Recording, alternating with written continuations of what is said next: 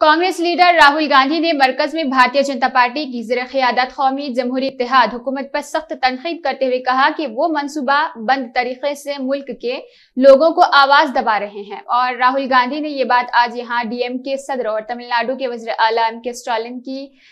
इंगल और win app में से की थी और इसके पहले हिस्से के रोनुमाई करने के बाद अपने खिताब में कही। वजर नरेंद्र मोदी पर तंज करते हुए उन्होंने कहा कि वो तमिलनाडु की तारीखी सकाफत और रिवायत को नहीं समझते और रियासत के लोगों की तोहिन कर रहे।